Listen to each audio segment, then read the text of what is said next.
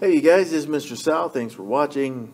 If the video helps you, hit that like button and subscribe, please. It would really help me out, but you do what you're going to do, alright? So, in any case, I hope this helps my students, even if it doesn't help you. So, uh, if it doesn't, I'm sorry. I do have other videos which may be helpful, but again, it's up to you. So, let's go and look at this one. In this problem, this form is already in the form of x minus h squared plus k.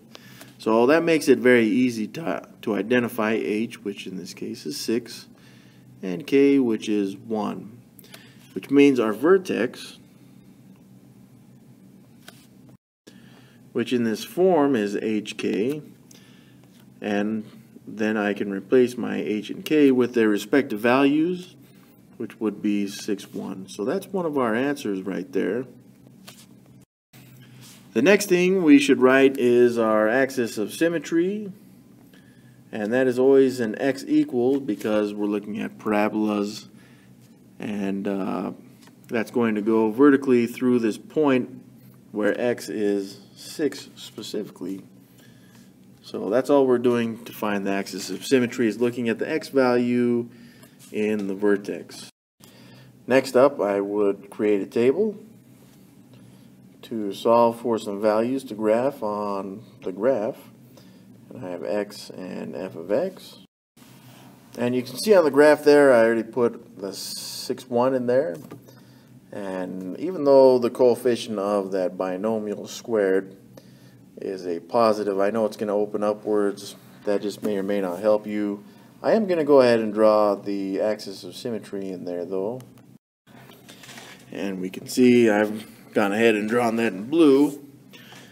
So all we need to do is find points on one side of this thing and then it's just going to mirror itself on the other side. And since we have a high number 6, I'm going to go down to the left and then mirror everything on the right of that. So I'm just going to try these values out and see what I get. So if x is 5, I've got 5 minus 6, which is negative 1 squared, would be 1. 1 plus 1 is 2. So that gives me the 0.52, which would be about right there. And I've gone ahead and found all the other values for you. Uh, notice uh, this bottom value right here, 126, it's too big to fit on this graph. So I'm going to skip it. I'm going to go ahead and put all the other values on. Alright, so there are the points. Now I just need to connect them. This is not a linear function, so I just need to make sure it's curved.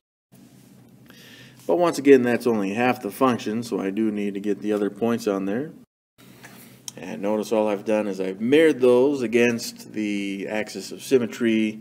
Now all I need to do is connect them.